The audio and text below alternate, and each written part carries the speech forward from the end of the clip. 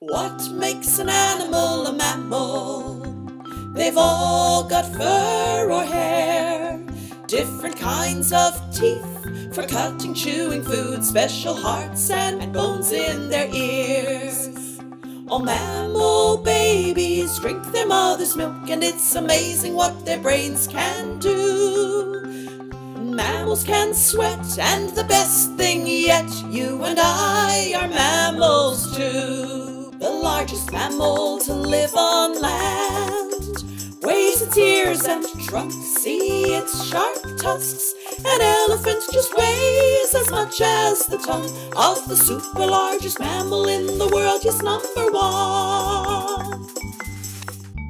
It lives in the ocean and only eats teeny tiny krill but it's longer than two school buses.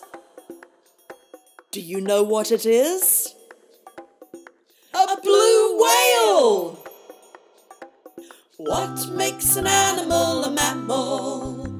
They've all got fur or hair, different kinds of teeth for cutting, chewing food, special hearts and bones in their ears.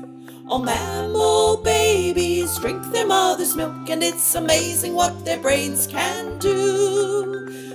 Mammals can sweat, and the best thing yet, you and I are mammals too. This mammal is known as man's best friend. There are almost a billion in the world of them.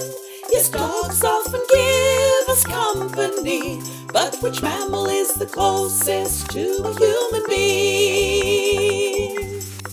It comes from Africa and eats fruit, leaves, meat, bugs, lots of things.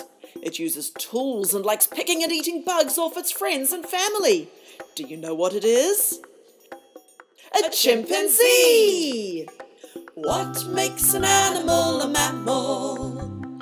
They've all got fur or hair, different kinds of teeth for cutting, chewing food, special hearts and bones in their ears.